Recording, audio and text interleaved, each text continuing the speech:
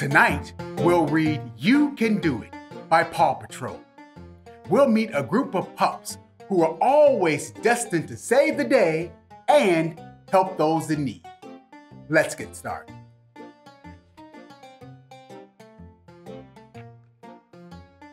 One sunny morning, Sky was zipping through the air while Marshall flew his kite.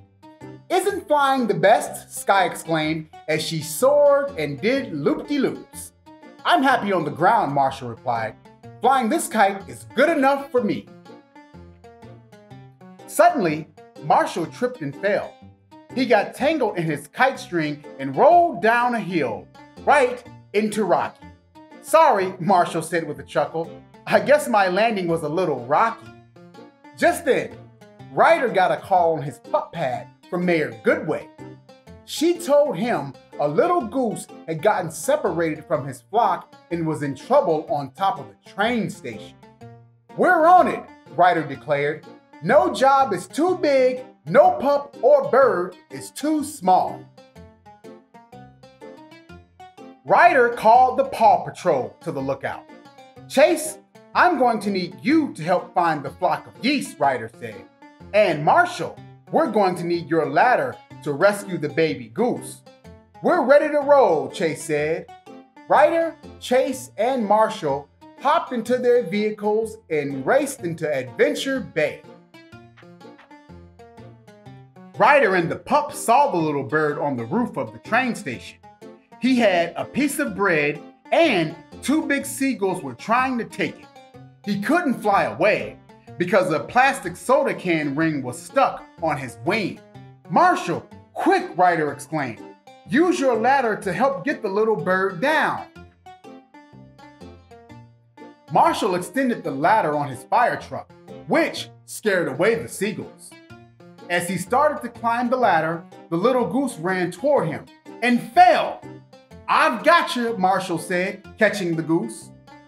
Back on the ground, Ryder and the pups learned that the bird's name was Fuzzy. He felt alone and scared. We're here to help, Ryder said as he removed the plastic ring from the bird's wing. When you have friends, there's no need to be afraid. Ryder found a feather from the bird's flock, and Chase used his sniffer to find Fuzzy's flying friends. Chase sneezed. Ah, chew! Sorry, I'm a little allergic to feathers. He took another sniff. They went this way. Meanwhile, Marshall took Fuzzy to the lookout, where he introduced the bird to the rest of the Paw Patrol. Knowing he had so many helpful friends, made Fuzzy feel better. He wasn't scared anymore. Fuzzy liked all the pups, but Marshall was his favorite. Later that day, Chase and Ryder returned. They found the rest of the geese, but there was a problem. Fuzzy didn't want to leave his new friends. Ryder had an idea. Marshall, We'll fly with Sky and lead Fuzzy to his friends. Marshall looked worried. I don't know if I can because um I'm afraid to fly, he admitted. That's okay, Ryder said. Everyone is afraid of something.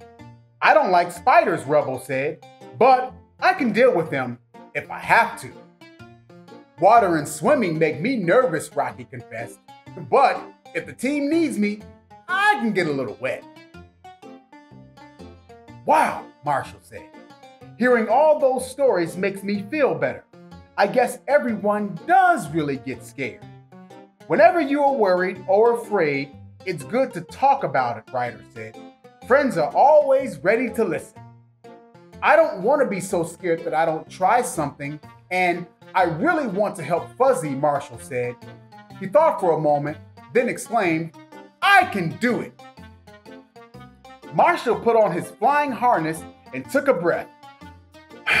I'm ready, he said. Sky started her helicopter and took off. It lifted Marshall safely in his harness into the air. Come on, Marshall said to Fuzzy. Time to fly with me. Flap, flap. Fuzzy followed Marshall and flew as fast as he could. He soon caught up with his friends. he chirped farewell to his new friends. Goodbye, Fuzzy, Marshall called. Then he added, Whee! I'm flying, and it's kind of fun. Back at the lookout, the pups played jump rope. Marshall missed his feathered friend, but he was happy he had so many pals to help him. Good work today, pups, Ryder said. Marshall, I'm really proud of you. Yes, way to go, Sky cheered. You're a great flyer and an even better friend. Whenever you feel scared, just yelp for help, Ryder said.